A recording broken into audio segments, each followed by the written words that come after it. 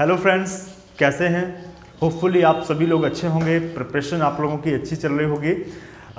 आज इस लेक्चर में हम लोग बात करेंगे एक्सेप्टेंस का मोड ऑफ़ कम्युनिकेशन क्या होता है, ठीक है?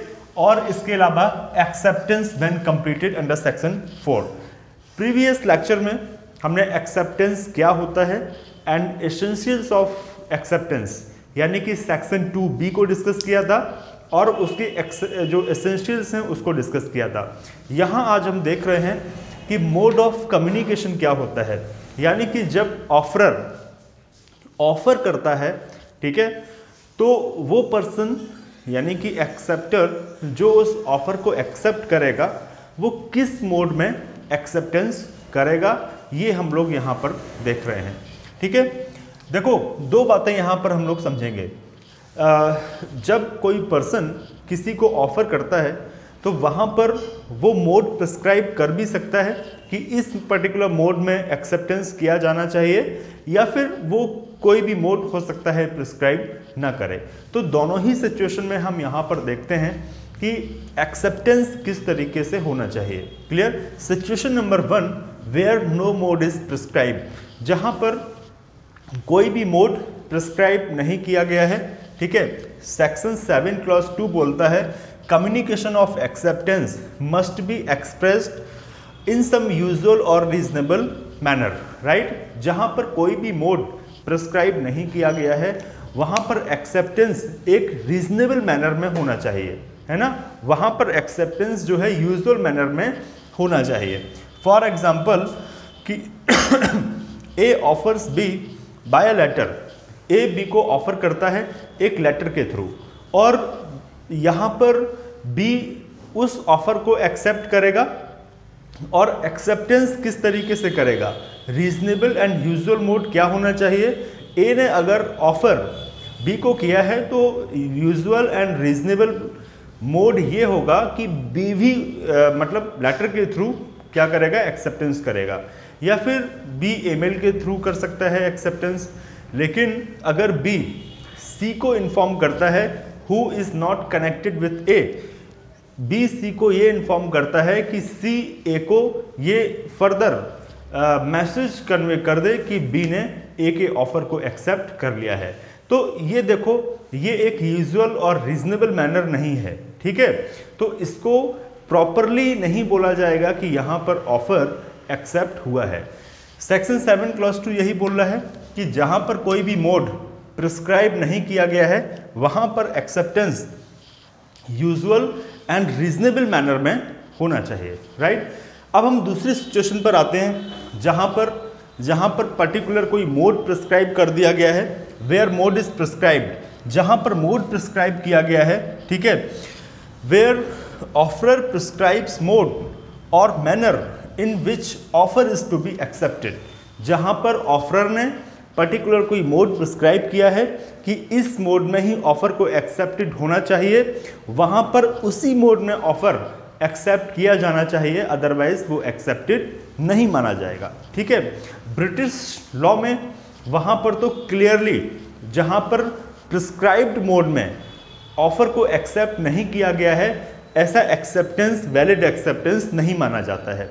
लेकिन हम सेक्शन सेवन क्लॉज टू की बात करें तो यहाँ पर सिचुएशन थोड़ा सा डिफरेंट है। क्या सिचुएशन डिफरेंट है? कि फॉर एग्ज़ाम्पल ए ऑफ़र है और ए बी को ऑफ़र करता है राइट ए ऑफ़र है एंड ए बी को ऑफ़र करता है। और यहाँ पर ए पर्टिकुलर कोई मोड प्रिस्क्राइब कर देता है कि acceptance must be by way of letter है ना? तो यहाँ पर जो पर्सन एक्सेप्ट कर रहा है, वो लेटर के थ्रू एक्सेप्ट करेगा राइट? अगर किसी अदर मोड से एक्सेप्टेंस कम्युनिकेट किया गया है एक्सेप्टेंस किया जा रहा है तो ये एक वैलिड एक्सेप्ट नहीं एक्सेप्टेंस नहीं होगा।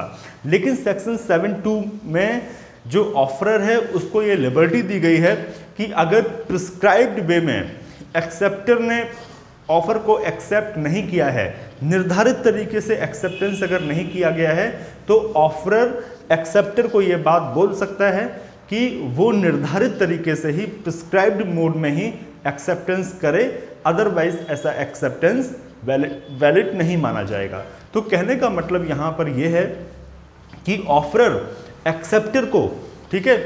मतलब इस बात के लिए बोल सकता है कि वो निर्धारित तरीके से ही, निर्धारित मोड में ही प्रिस्क्राइब मोड में ही एक्सेप्टेंस करे अदरवाइज़ इस एक्सेप्टेंस को वैलिड एक्सेप्टेंस नहीं माना जाएगा।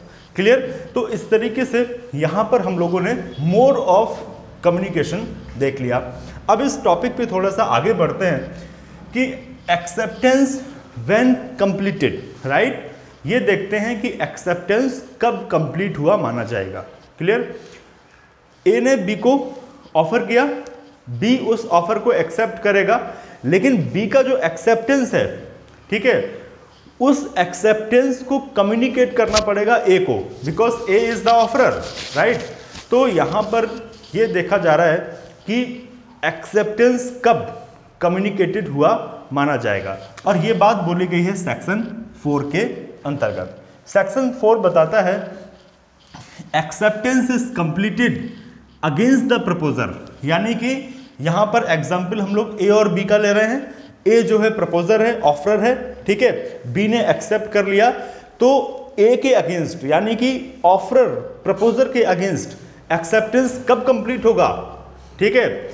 एक्सेप्टेंस का कम्युनिकेशन कंप्लीट होगा when it is put in the course of transmission right for example अगर बी लेटर के थ्रू रिवर्ट कर देता है एक्सेप्टेंस को कम्युनिकेट कर देता है और जैसे ही वो लेटर बी पोस्ट करता है, वैसे ही ए के अगेंस्ट एक्सेप्टेंस कंप्लीट हुआ, मान लिया जाएगा right and against the acceptor against the acceptor acceptance तब कंप्लीट हो जाएगा when it comes to the knowledge of proposer जो प्रपोजर है, जब उस लेटर को रिसीव कर लेता है तो एक्सेप्टर के अगेंस्ट एक्सेप्टेंस कंप्लीट हो जाएगा राइट right? यहाँ पर देखिए ये क्यों इंपॉर्टेंट है? एक्सेप्टेंस व्हेन कंप्लीट एक्सेप्टेंस कब कंप्लीट होगा? इस बात को समझना क्यों इंपॉर्टेंट है? इस बात को समझना इसलिए इंपॉर्टेंट है क्योंकि सेक्शन फाइव बोलता है when can proposal be revoked A B को ऑफ़र कर रहा है और ऑफ़र करने के बाद ए उस ऑफ़र को रिवोक कर सकता है, उसका खंडन, विखंडन कर सकता है। तो यहाँ पर ए के पास कब तक ये अपॉर्चुनिटी होती है कि ए बी को किए गए ऑफ़र को रिवोक कर सके। तो सेक्शन फाइव में ये बोला गया है कि proposal may be revoked at any time before the communication of its acceptance is completed against the proposal यानी कि प्रपोजल के अगेंस्ट एक्सेप्टेंस का कम्युनिकेशन जब तक कंप्लीट होता है, ठीक है, उस कंप्लीशन से पहले किसी भी समय प्रपोजल को रिवोक किया जा सकता है। और प्रपोजर के अगेंस्ट एक्सेप्टेंस कब कम्युनिकेट हो जाता है? कम्युनिकेशन कब कंप्लीट हो जाता है? जैसे ही एक्सेप्ट करने वाला पर्सन ठीक है, अपने एक्सेप्टेंस को कोर्स ऑफ़ ट्रांसमिशन में ला देता है प्रपोजर को कम्युनिकेट करने के लिए।